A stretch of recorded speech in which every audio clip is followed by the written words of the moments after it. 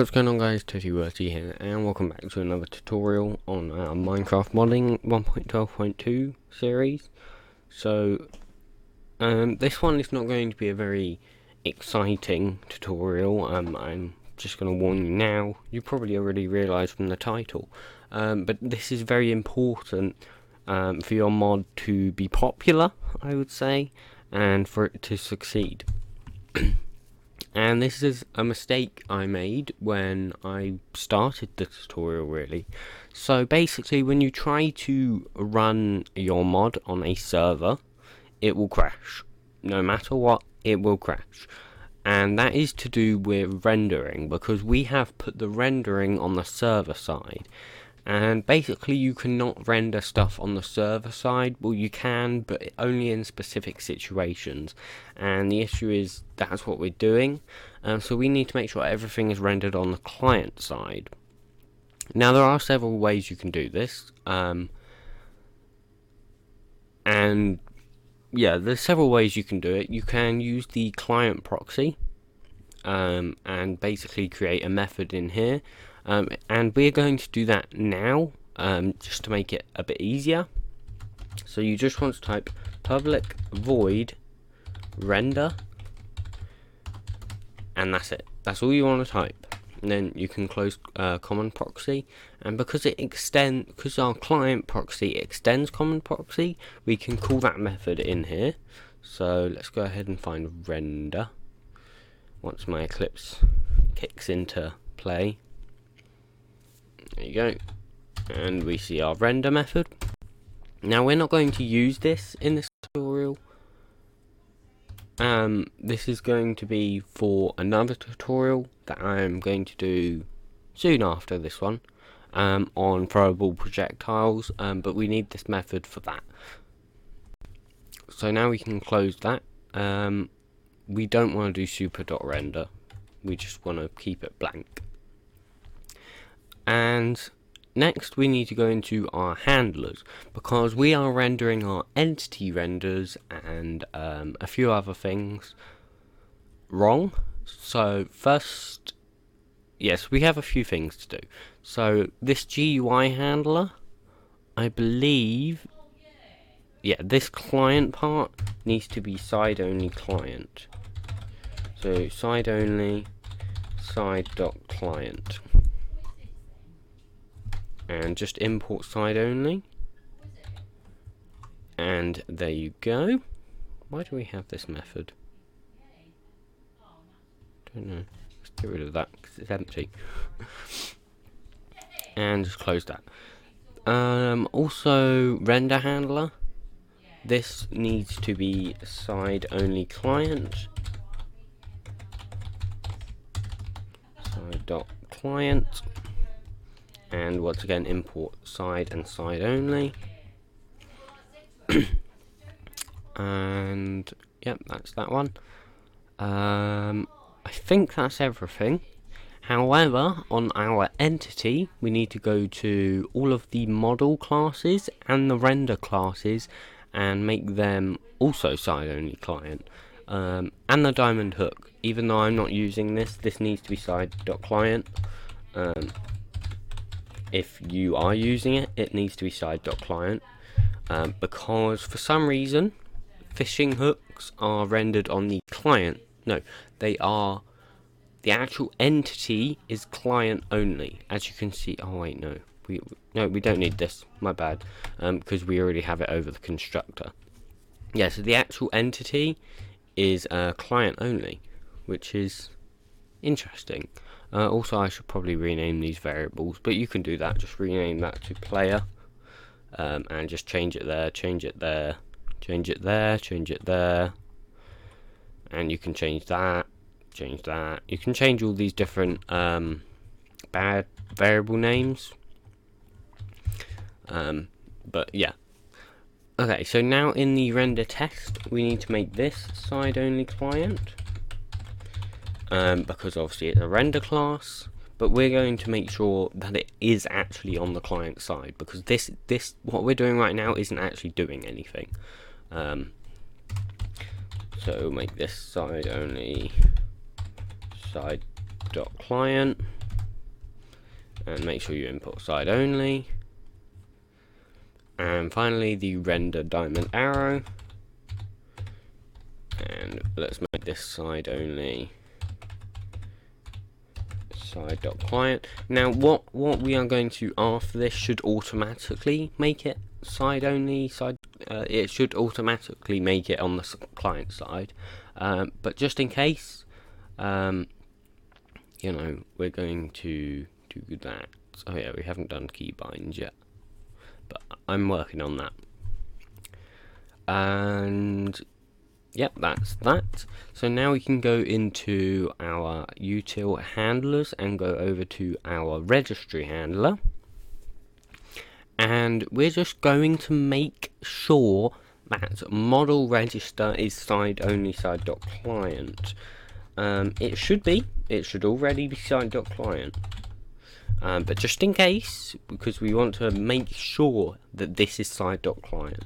If this if this is ever goes on the server side you will have a lot of issues it won't work um, it definitely will not work if this is on the clients. uh, if this is on the server side. Um, you won't have any of your models, it will just crash probably, um, I expect. Not that that would happen because I believe model registry event is client. Maybe. I, I think it makes it client. Not too sure though.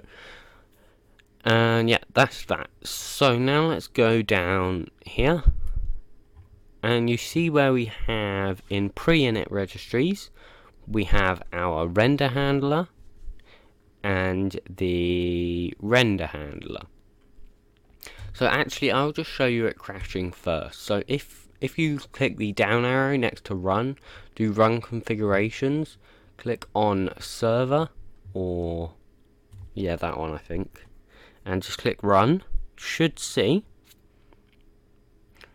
if you just watch in the console, just bring it up, it should crash. Oh, I need to agree to the EULA of course. Uh, run. Let's just refresh this. Oh, oh, oh, God, what I do? Refresh. Refresh. Oh, let me just press F5.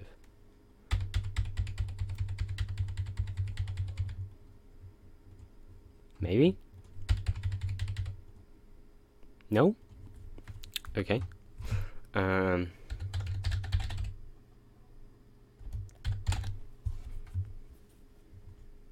Okay, let me try find this. Okay, talk about So if we go run and just accept the EULA and close that. Now if we run it, we should see it will crash. Hopefully. I'm actually hoping it will crash. If not, then perfect, we've already done it. Uh, but when we do custom projectiles, we have to make sure um, that is registered differently. Um, you can't just use the normal registry because it uh, uses the render snowball in an actual fact.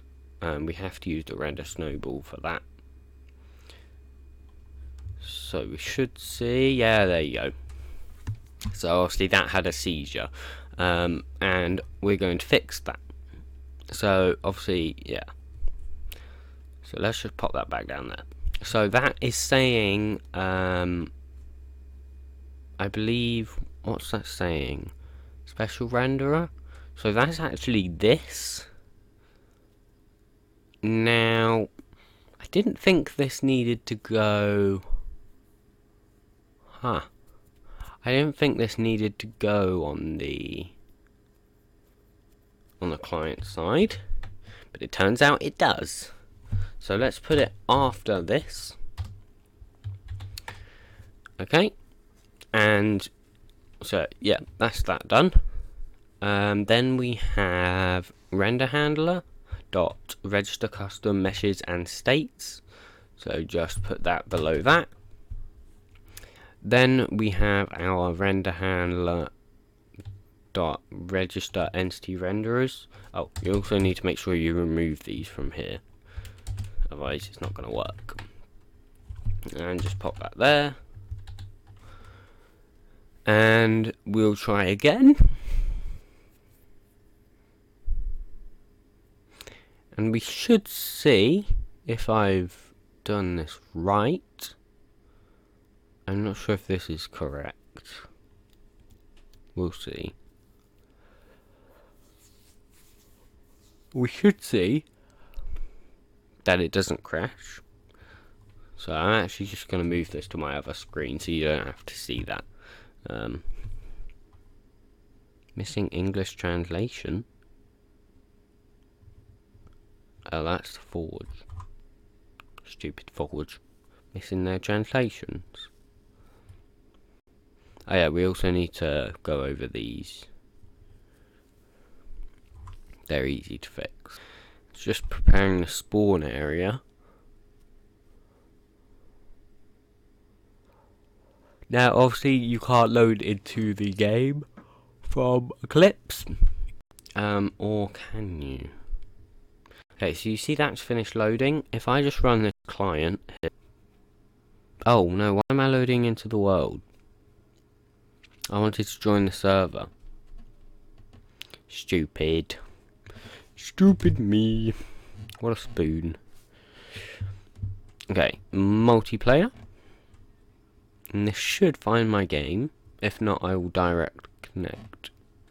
Yeah, I'm, I'm direct connecting. Local host should be what it's called. Nope.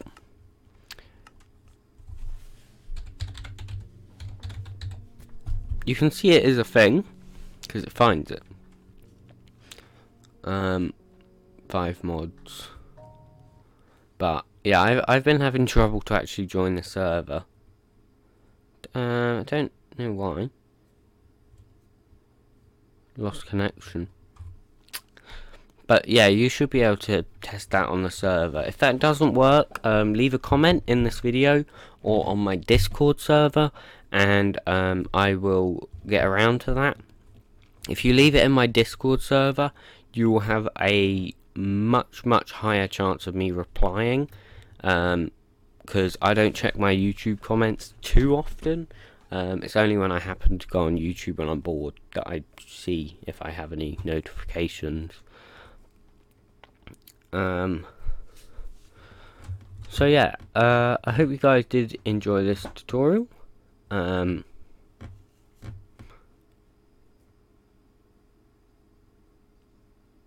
yeah. Um, so that should be it if as as I said, if that doesn't work, tell me in my Discord server or in the comments, and I will I'll get back to you on that.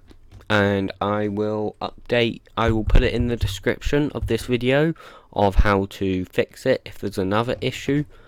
Um, but basically you just need to make sure all of the rendering and model loading is on the client side. That's basically it.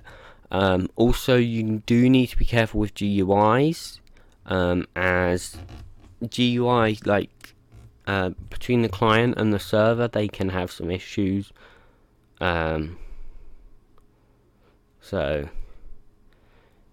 yeah. So I'll see you guys in the next video. Goodbye.